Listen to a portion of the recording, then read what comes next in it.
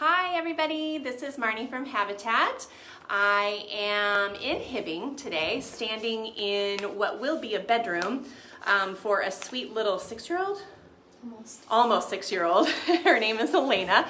Um, too bad she's not here with us today because you would enjoy her. She's a spunky little lady that um, is always so much fun to chat with. So anyway, um, this is International Women's Build Week which um, we are celebrating um, this week as an affiliate.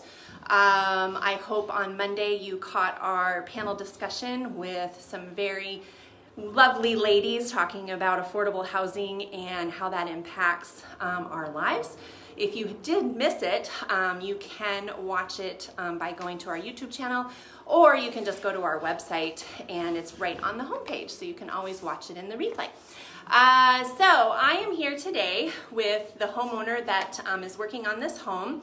Uh, but before I introduce her, I wanted to talk a little bit about um, this project. So generally, Habitat builds new construction. And since 1995, we have built 73 homes. And however, we also sometimes get generous donations from individuals or communities that we work in of existing homes that we're able to rehab and habitize it, if you will. And by that I mean we're able to make it energy efficient and affordable for a family to purchase when it's done. So I am standing in the 16th rehab project that we've done and um, I'll introduce Abbie. She can join me. She's kind of hiding off camera. so this is Abbie. Um, Abbie Moberg lives here in Hibbing. She is the mom of the spunky little six-year-old that I mentioned, and she is um, engaged to Hunter Mackey, and they are rehabbing this home together. And when it is done, they will purchase it with an affordable mortgage through Habitat. So Abbie, tell me, oh, I also wanted to mention, in addition to rehabbing this home and taking care of the six-year-old, Abbie is a full-time student and she is a para and a dance teacher. So she is one busy mama and uh, she has been a great partner. Um, you all know that our Habitat families partner with us to build a simple, decent, affordable home and by doing that they're, they're putting in some sweat equity hours so Abbie has done a lot of demo, which she was really excited to do. And now we are at the stage where it's a lot of coming in and cleaning up after some subs. Um, I'll do a little tour when we're done and you'll see that we just finished the insulation. And so sheetrock is next, so it'll still get a little messy and uh, she'll come in and kind of help clean that up for our subs that are busy working to complete it. So Abbie, tell us a little bit about your current living situation. So right now, me and Elena, we share a room. We live with my parents mm -hmm. and my three younger siblings, so it's a full house. It's a full house, so a little overcrowded. People. Yes, yes. now, is there only one bathroom? Currently, yes. Oh dear, so seven people sharing one bathroom. We know that that can be really tricky. Um, so how did you hear about Habitat? Well, when I was in elementary school, actually, mm. I got to help with volunteering Mm-hmm. Um, we got to help clean up in the yard and everything. Sure, sure. And I liked being able to do that. And then in high school, my parents did a lot of volunteer work for Habitat for Humanity. Nice. And then after high school, one of my family members actually told me, like, hey, you're a single mom, you might actually qualify for mm-hmm. Habitat for Humanity, you should try applying. So I did, yeah. I was very happy that I got accepted. Yeah, so yes, you got accepted into our home ownership program and we assigned this project to Abbie. And so we called you one day and asked you to meet us at this address and said, ta-da, here's your project. Tell me some of those initial thoughts when you looked at this house. I was a little bit worried at first. I mm -hmm. thought that it would be a pretty big job, just like even walking around outside the house because mm -hmm. it is a lot bigger than on the outside mm-hmm. than what a normal habitat house usually is. Sure. But as we've been going on, it's been a lot of fun. So mm-hmm. like it's been it's been good. Yeah, good. So as you've been demoing and doing some of the rehab work, is there a new skill that you've learned? I learned how to use what's it called, the sawzall. Ah, sure. Yeah, yeah, that was fun. I, I liked learning how to use that. Great. We love it when we, we get to learn something new, and power tools are actually really fun.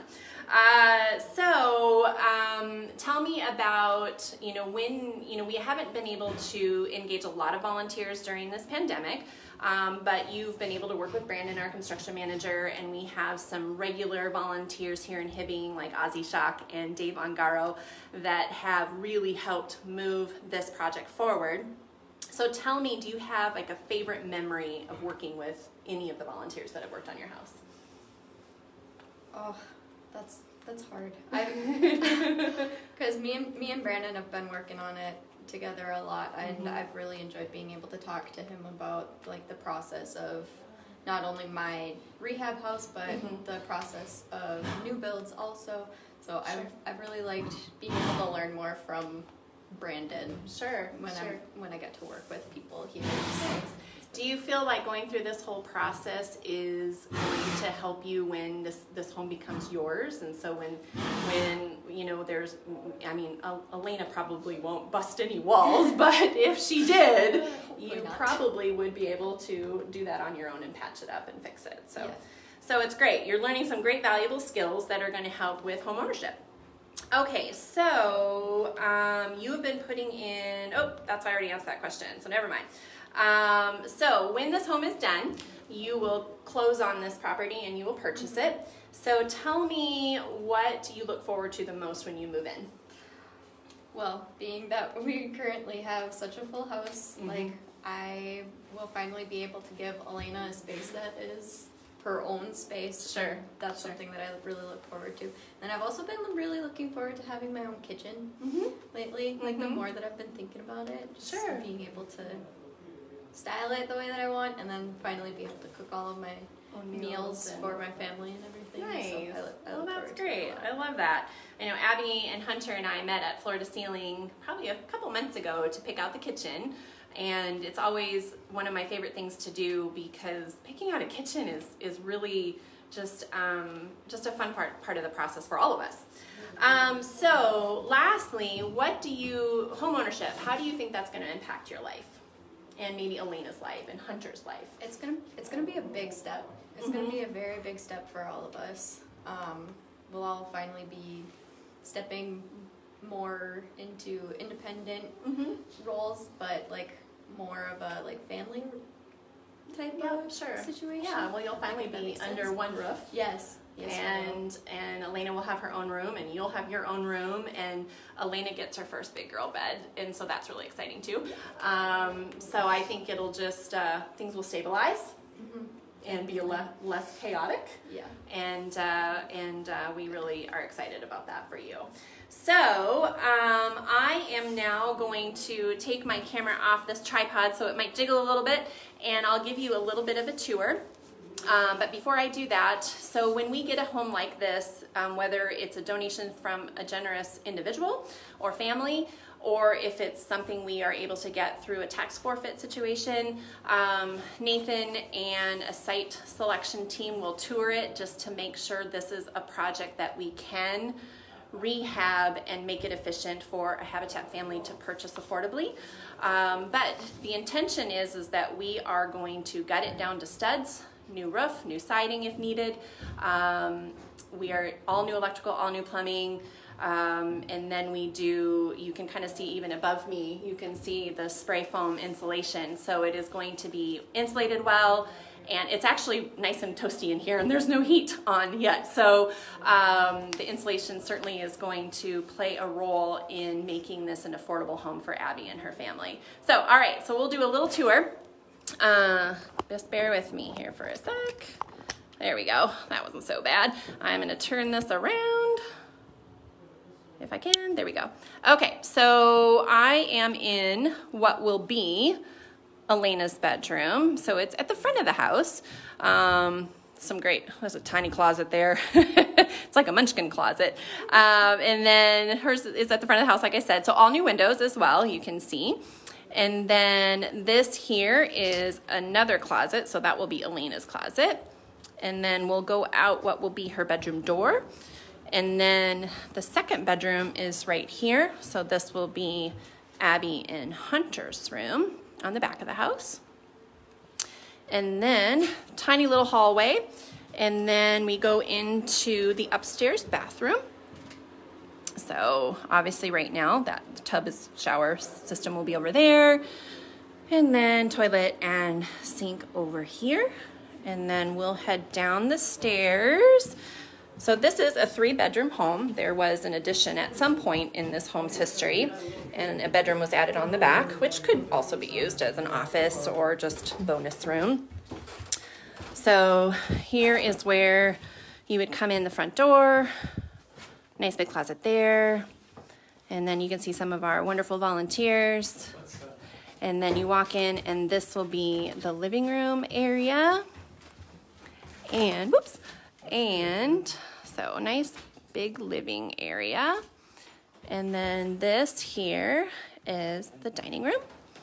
And so Abbie and Hunter were also able to pick out all of their light fixtures and Abbie built her budget around this really cool dining room light. So I can't wait to see that installed. And then this is the kitchen. So it'll be kind of a U-shaped kitchen. Um, the sink is kind of on this wall. And then I believe the stove and refrigerator are going to be on this back wall here. Kind of hard to imagine because we don't have any sheetrock up, but um, I'll have to come back in and do a tour when the house is complete.